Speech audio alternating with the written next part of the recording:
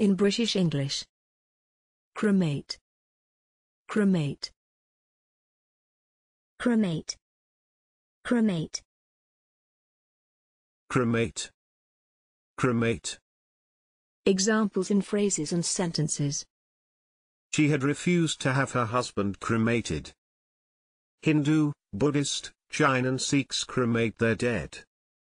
The dead usually are cremated after an elaborate procession. His funeral took place in Plymouth and his body was cremated.